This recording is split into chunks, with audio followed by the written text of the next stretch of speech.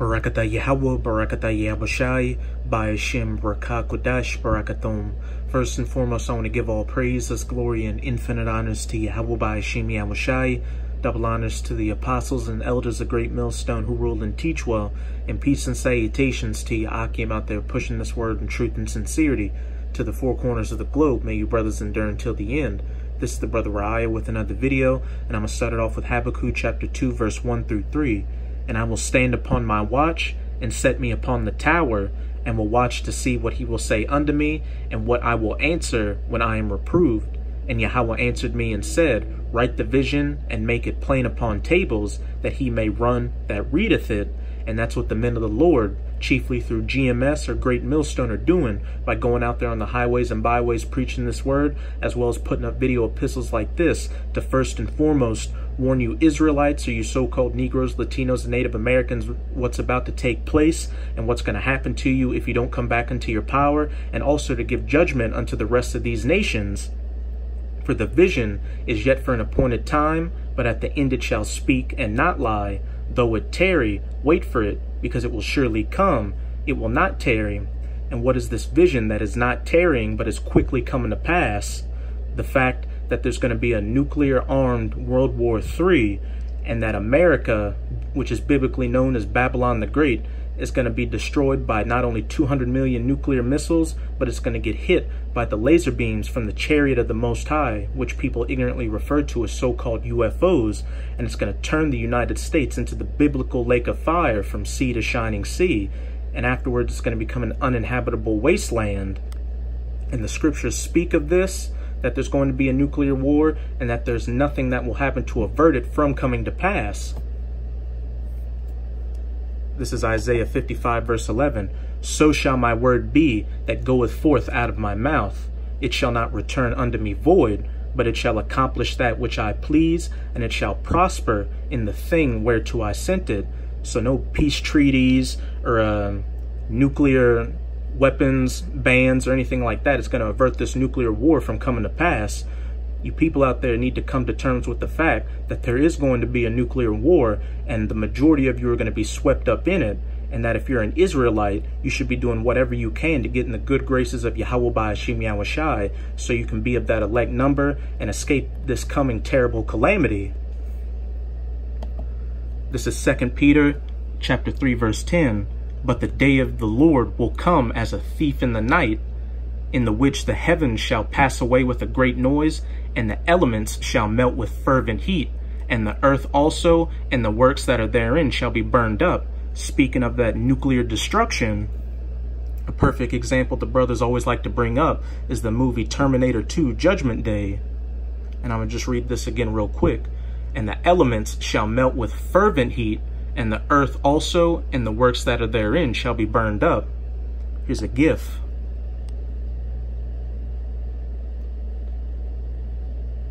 The elements shall melt with fervent heat, and the works thereof shall be burnt up.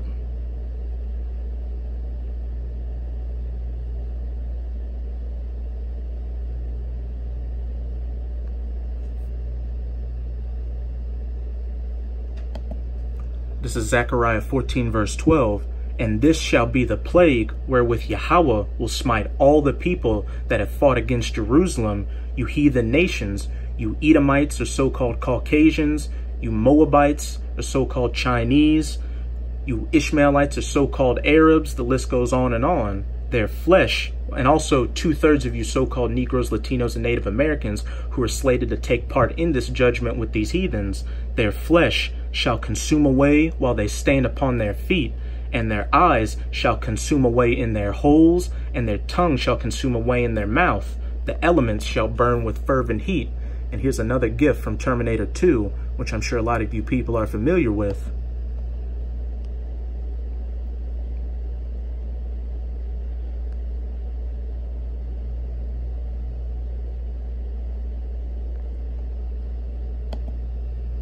Their flesh shall consume away with fervent heat while they stand upon their feet, and their eyes shall consume away in their holes, and their tongue shall consume away in their mouth. And I'm just laying this groundwork to show you that a nuclear war is in the scriptures, And again, back in Isaiah 55 and 11, so shall my word be that goeth forth out of my mouth. It shall not return unto me void, because today the U.S. has formally announced its withdrawal from the INF, or the Intermediate Nuclear Forces Treaty, which pretty much put which Slacky, which pretty much puts both countries on a fast track towards creating nuclear weapons again, which they're going to use against each other in this coming nuclear armed World War III. And this is a video from Russia RT America titled Russians Dumbfounded as U.S. Abandons Nuke Deal. So shall my word be that goeth forth out of my mouth, it shall not return unto me void.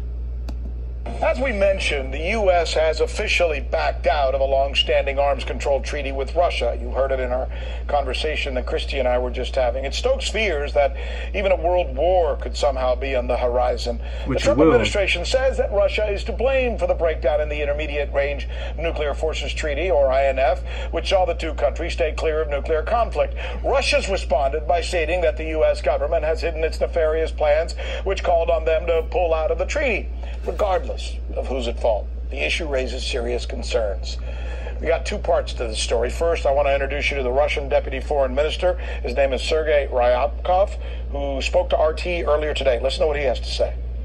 Uh, on the famous symbolic clock uh, that shows the time left to the nuclear conflict, we have un- unfortunately passed yet another minute towards the midnight. We should work deliberately, focusedly. We should invest uh, additional energy and political capital to stop this dangerous development. Everything now depends on responsibility of the U.S. decision makers. Just hours after this statement was made, the Pentagon announced that it will develop new ground missiles which had been banned under the uh, INF. RT correspondent Yulia Shapovalova has been all over this story. She files this report from Moscow. The treaty on the control of intermediate and shorter range missiles has been terminated at the initiative of the American side. The official statement appeared on the Russian Foreign Ministry's website. The withdrawal from the agreement was also confirmed by US Secretary of State Mike Pompeo. On Twitter, he again placed blame on Russia for that. On February the 2nd, 2019, the US gave Russia six months to return to compliance with the Intermediate Range Nuclear Forces Treaty. Russia refused, so the treaty ends today. The US will not remain party to a treaty when others violate it. Russia bears sole responsibility. This document was signed more than 30 years ago on December 8, 1987 by Mikhail Gorbachev and Ronald Reagan. Thanks to the agreement between the Soviet Union and the United States, a whole class of the most dangerous nuclear weapons was destroyed, missiles with a flight range of 500 to 5,500 kilometers. Washington announced the suspension of participation in the treaty in February, accusing Russia of non-compliance. The United States and NATO believe that one of Moscow's missiles violated the agreement. They say Russia developed and put into service a 9M729 rocket, which, as it seems to the Americans, flies further than 500 kilometers. Moscow denied it went against the treaty. The Russian Ministry of Defense has repeatedly explained in detail and even showed that missile, saying it fully fits into the framework of the agreement. But the United States refused to accept all the evidence and did not enter into dialogue. Meanwhile, Russia puts forward counterclaims, saying the United States uses long-range strike drones and NATO now deploys launchers capable of delivering Tomahawks missiles in Romania and Poland. They have a range of more than a thousand kilometers and fall under medium-range missiles prohibited by the treaty. Earlier, Donald Trump noted that the United States wants to come to an agreement on control of nuclear weapons. He also discussed this issue by telephone with Vladimir Putin. The UN has also expressed concern. The Intermediate Nuclear Forces Treaty, the INF, is a landmark agreement that helps stabilize Europe and end the Cold War. When it expires tomorrow, the world will lose an invaluable brake on nuclear war, and this will likely heighten, not reduce, the threat posed by ballistic missiles.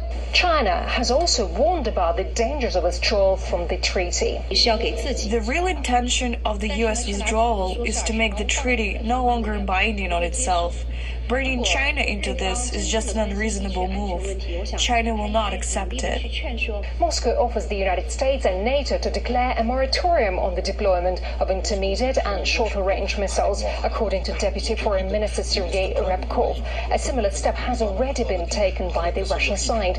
Moscow will refrain from deploying such weapons until the United States installs appropriate systems. Russia showed utmost responsibility for European and global security, declaring through President Putin's statement a unilateral moratorium for fielding of this type of capabilities if and when Russia develops, though uh, until and unless the U.S. does the same anywhere in the world.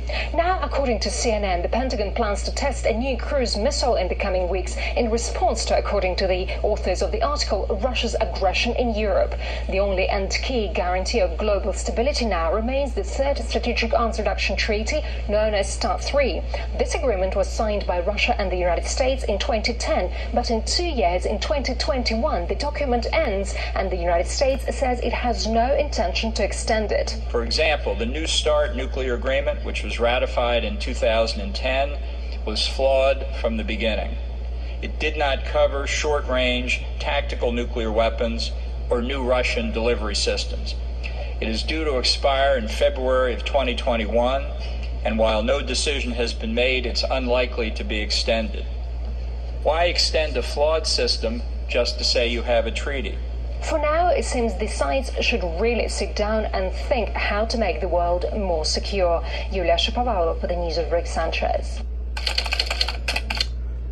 In the foreseeable future, nuclear missiles are going to be shot to the four corners of the globe, and it's going to be Russia that's going to lead the rest of the major nations against the United States of America.